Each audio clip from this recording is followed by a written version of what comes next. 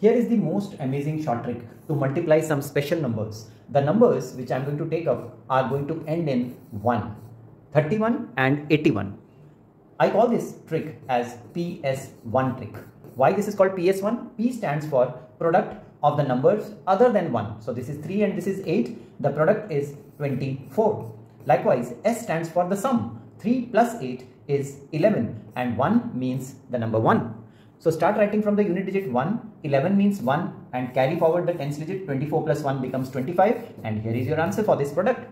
Likewise, if you have 3 digit numbers like 141 times 231, you can still do it using the same approach. Here we have 14 and here you have 23.